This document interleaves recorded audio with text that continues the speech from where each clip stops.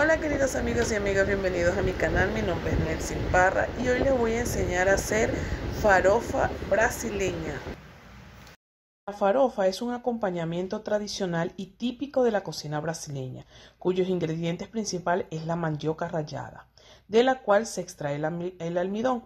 No es harina de mandioca, es la mandioca rallada, muy fino, para extraer del almidón. Se le conoce o recibe el nombre de farina de mandioca Farinha significa harina en portugués.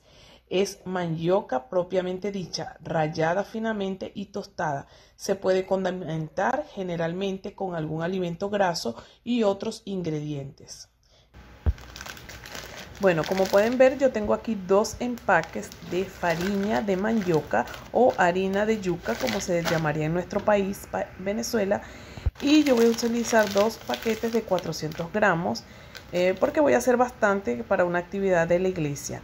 Y los ingredientes que yo voy a utilizar, ustedes pueden utilizar cualquier ingrediente, se puede preparar con varios, eh, pero yo voy a utilizar ahora es ajo, cebolla, ah, cebolla larga, zanahoria y eh, tocino en cuadritos. Entonces voy a comenzar a picar los ingredientes. Bueno, lo primero que voy a hacer es que voy a picar la cebolla en cuadritos pequeños.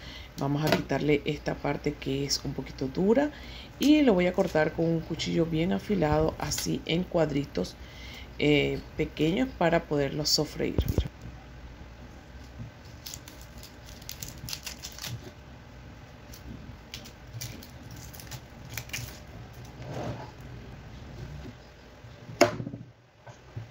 Bueno, yo voy a picar dos cebollas grandes porque voy a usar 800 gramos de, farina de, mandioca o farofa.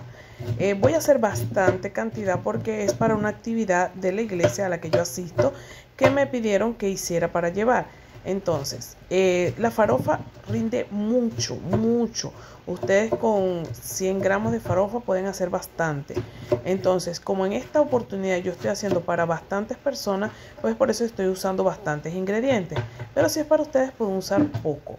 Entonces, aquí yo voy a picar dos cebollas, como se ve en el video, así en cuadritos pequeños.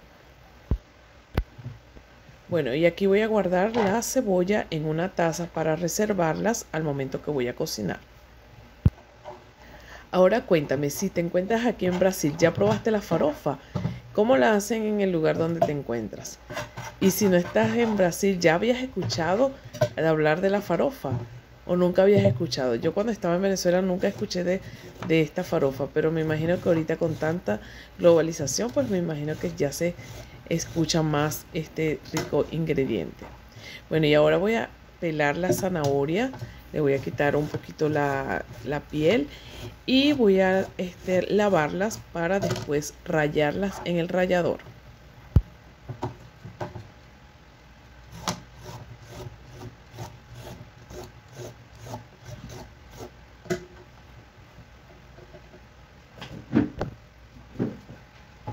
Luego de lavarlas, y pelarlas le voy a quitar aquí esta, este pedacito y voy a usar el rallador por la parte más grande. Voy a utilizar esta, este plato para poderlo rayar con más comodidad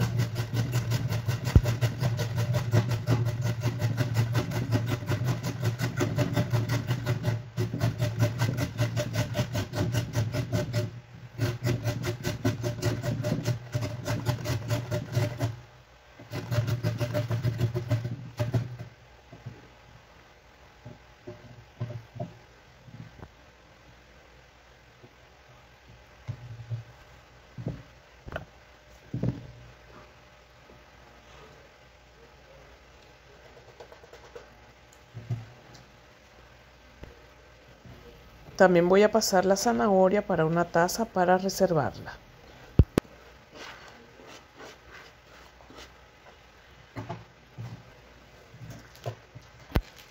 También voy a utilizar tocino.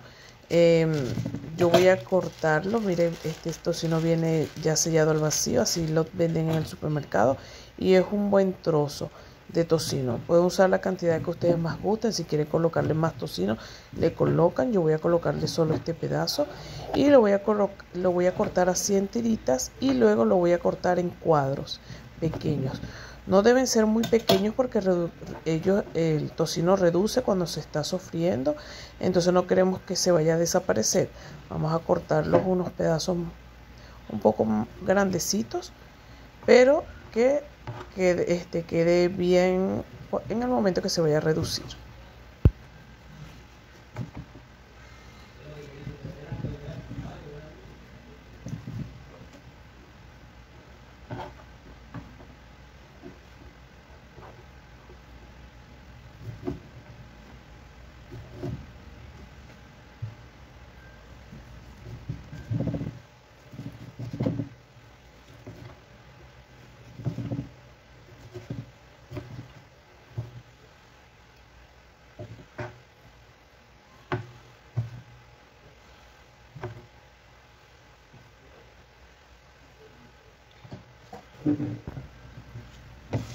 Al igual que la cebolla y la zanahoria, también voy a reservar el tocino en otra taza.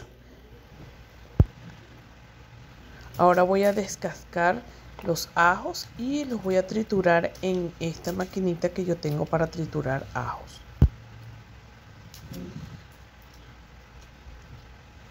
Bueno, esta maquinita que yo me compré es muy espectacular, la compré aquí en Brasil, no sé si en otros países exista, pero es algo muy brasilero y me encantó.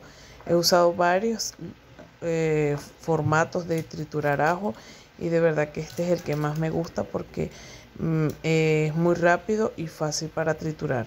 Y lo que hacemos es que descascamos el ajo y lo cortamos en pedacitos, lo colocamos allí dentro se tapa, no hay que poner mucho ajo porque eh, después no va a girar. Se tapa y le das vueltas así varias veces para un lado y para el otro y ya ahí sale el ajo bien trituradito.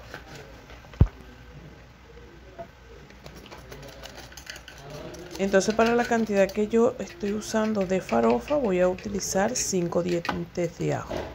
Recuerden, es bastante ajo porque es bastante farofa. Son 800 gramos que estoy haciendo. Ok, y aquí voy a picar una cebolla larga. La voy a cortar con la tijera porque quiero que me queden los pedacitos bien. Bueno, y si te está gustando el video hasta los momentos, por favor dale me gusta, comparte el video para que tus amigos puedan verlo y otras personas también aprendan a hacer esta deliciosa farofa. Bueno, luego de picar todos los ingredientes así quedaron, ahí está la zanahoria, la cebolla, el ajo, la farofa que todavía está en su empaque, aquí está la cantidad de, de zanahoria, el bacon y la cebolla larga. Aquí también pudieran agregar papas palias o papas fritas de esas que se agregan a los perros calientes. También queda muy rico. Yo no tenía, así que solamente le voy a colocar estos ingredientes. Entonces en una olla bien grande, como voy a hacer 800 gramos de farofa, voy a colocar una olla bien grande y voy a colocar el bacon, el bacon para que pueda soltar el aceite que tiene y se sofría. Estamos dándole algunas vueltecitas al bacon cada vez que podamos para que él no se vaya a quemar por un solo lado y también eso ayude a soltar sus aceites porque en ese aceite que vuelve el bacon también vamos a colocar luego de que ya se haya medio dorado el bacon no lo vamos a dejar muy dorado. Cuando ya esté medio dorado lo vamos a recoger y lo vamos a colocar en una taza para reservarlo. Allí nos va a quedar todo el aceite que botó el bacon esa grasa deliciosa que bota el bacon. Y vamos a colocar a sofreír la cebolla y el ajo. Aquí estoy colocando la cebolla le damos una meneada hasta que ella eh, se cristalice un poco y luego agregamos el ajo.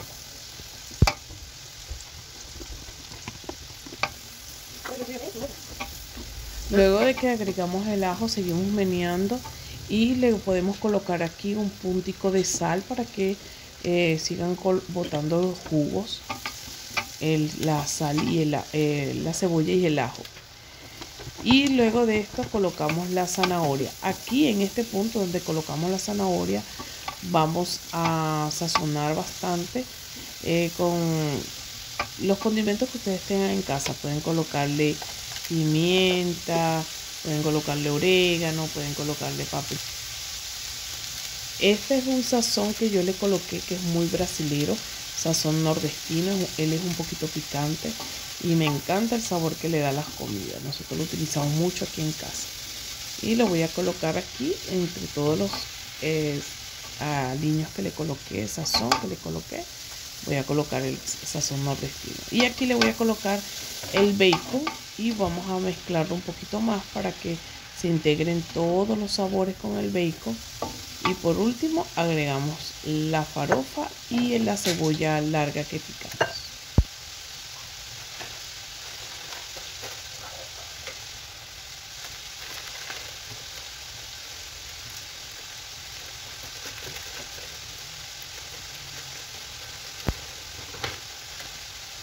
Bueno, como pueden ver, la farofa es una especie de harina, es como la harina de maíz, pero esta vez es de mandioca, de yuca, y em, esta viene ya sazonada, eh, viene eh, preparada con sazón. Miren cómo es una especie de arenita o de harina. Y bueno, lo que hacemos es mezclarlo aquí con la zanahoria y todos los ingredientes que ya habíamos colocado para que absorban los jugos que tiene todos los ingredientes que ya habíamos eh, colocado previamente. Entonces, no aquí no le vayan a agregar agua, no le vayan a agregar ningún líquido, porque la farofa es seca, no tiene que tener ninguna humedad. Entonces, tiene que quedar así sueltecita. Entonces, la vamos cocinando para que eh, ella agarre todos los sabores que ya habíamos colocado anteriormente. Miren cómo queda, bien sueltecita. Entonces, luego que esté lista, vamos a agregar ahora sí la cebolla, vamos a menear un poco y ya apagamos el fuego para que, porque la idea es que se sienta que la cebolla larga está allí, el verde de la cebolla larga. Aquí también, si, si tuviéramos, yo no tenía, podemos agregar las papitas que se usan para el perro caliente. Y bueno, aquí estoy ya en la actividad de la iglesia miren, aquí ya tenemos la farofa. En, las actividades brasileñas sirven la comida muy deliciosa y sirven varios tipos de ensalada. Eh, aquí hay más farofa que llevó otra persona. Entonces, esta es la farofa que yo llevé. Y bueno, la sirven con churrasco. Ahí está preparándolo un hermano de la iglesia. Y aquí está, miren, mi ensalada con churrasco y farofa.